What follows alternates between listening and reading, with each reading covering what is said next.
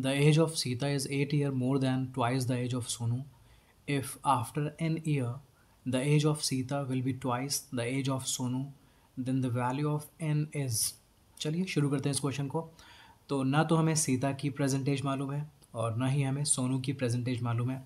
मैं सोनू की प्रेजेंट को एक्स मान लेता हूँ। Let the present age of Sonu be x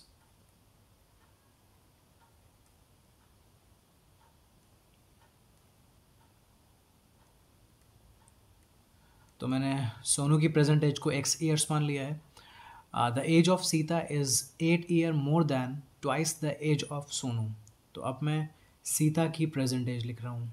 Sita's present as तो बोला गया है कि जो सीता की प्रेजेंट एज है, वो सोनू के ट्वाइस से एट ज़्यादा है। तो सोनू की एज एक्स है, इसका ट्वाइस करेंगे तो आपको टू एक्स मिलेगा। और उससे भी एट ज़्यादा मतलब two x plus eight years this is the age of Sita I hope this is clear अब इन्होंने इन्होंने बात की है एन ईयर्स के बाद। तो एन ईयर्स के बाद हम सोनू की एज पता कर लेते हैं और सीता की एज पता कर लेते हैं। In n year in n year अब एन ईयर के बाद मैं देखता हूँ सोनू की एज कितनी होगी और सीता की एज कितनी होगी। सीता की एज कितनी होगी। ओके okay, इसको समझना बड़ा आसान है। इमेजिन कि आपकी एज फिफ्टीन है। तो अगर मैं आपसे ये पूछूँ कि आपकी एज क्या होगी दो साल के बाद तो आप बोलोगे फिफ्टीन प्लस टू सेवनटीन मतलब जितने टाइम के बाद, जितने ईयर्स के बाद मैं आपकी एज पूछता हूँ आपसे, आप वो नंबर वो ईयर उसमें ऐड कर देते हैं. तो फ़िलहाल हमें इन दोनों की एज फाइंड करनी है एन ईयर्स के बाद एन ईयर्स के बाद.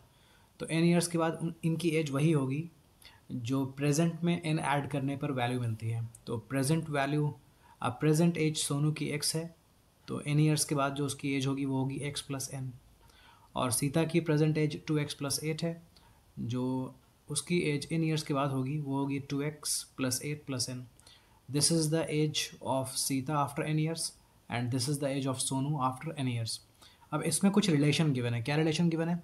बोला गया है कि जो सीता की एज है, वो सोनू की एज का ट्वाइस है। सीता की एज सोनू की एज का ट्वाइस है। तो मैं इस स्टेटमेंट की हेल्प से एक इक्वेशन बना लूँगा। सीता की एज सोनू की एज का ट्वाइस तो आप देखें, जो सीता की एज आपने फाइंड की है, वो है two x plus eight plus n और जो सोनू की एज है, वो है एक्स प्लस एन मैं सीता की एज लिख देता हूँ एक तरफ़ एंड सोनू की एज लिख देता हूँ एक तरफ़। क्योंकि सीता की एज ट्वाइस है, इसलिए मैं सोनू की तरफ़ टू से मल्टीप्लाई कर देता हूँ। हो सकता है आपको ये थोड़ा वियर्ड लगे, लेकिन आप समझो। ओके मान लेते हैं दो लोग हैं, जिसमें से एक की एज ट्वेंटी है और दूसरे की एज टेन है। तो अगर मैं आपसे ये पूछूँगी कि टू टाइम्स मतलब ट्वाइस किसकी एज है? तो ये जो देखिए, पहला बंदा है ना, इसकी एज दूसरे बंदे के ट्वाइस है। है तो इस पहले बंदे की एज ट्वाइस लेकिन मल्टीप्लाई करेंगे हम दूसरे को, ताकि ये इक्वेशन बन जाए। इक्वेशन में दोनों साइड इक्वल होना ज़रूरी है। आई होप समझ में आ गया होगा। तो है तो सीता की एज ट्वाइस लेकिन हम मल्टीप्लाई करेंगे दूसरी तरफ़, ताकि ये इक्वल रहें।